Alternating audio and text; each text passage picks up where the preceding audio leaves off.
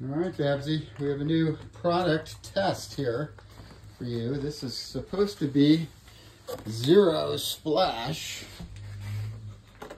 Pup Hub. Okay, you want to try it? No, we're not going to eat the box. But uh, here you go. What the concept is that this keeps you from splashing all over. Look. Now if I touch that, what's what is it?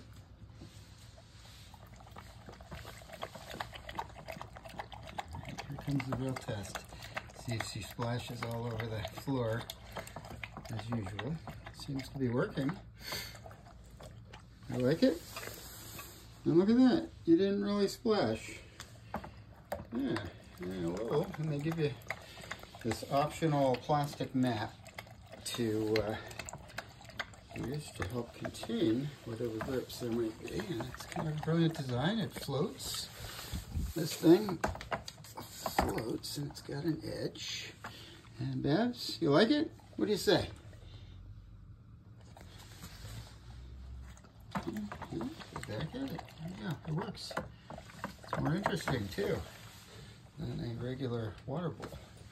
So keep, you, keep you busy for a while, right? Yes.